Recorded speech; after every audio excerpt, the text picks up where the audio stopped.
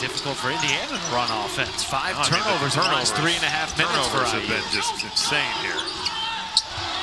Renew lobs it up to Ware with the two-hand jam.